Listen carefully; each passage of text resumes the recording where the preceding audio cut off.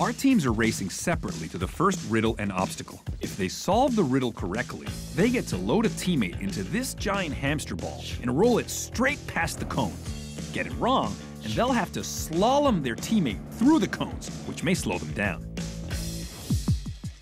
Guess the phrase. Oh, oh, uh, gotta give to get. Um, Give love to get love. Get what you give. You give what you get? No. get, give. Give. What's the riddle? Both teams are stumped. Have you guessed the phrase yet? There's forget.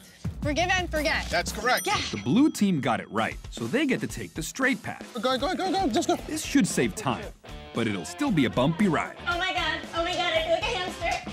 Good job, blue team. You're on a roll. But how do you think the red team is doing? Only, you only get what you give. Time. Uh, okay, go. Oh, too bad. You got it, you got it. Now they've got to slalom through the cones, Turn, turn. which may slow them down.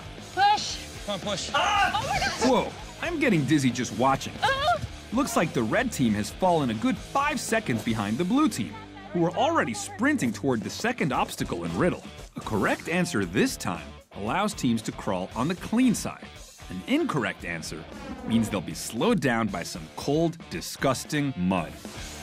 What can run but never walk, has a mouth but never talks, has a bed but never sleeps? Some type of animal? Um, a bear? No, bear sleep. Come on, come on. His mouth big.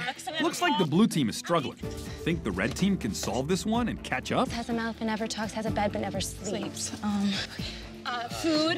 Human. Can you solve this riddle at home?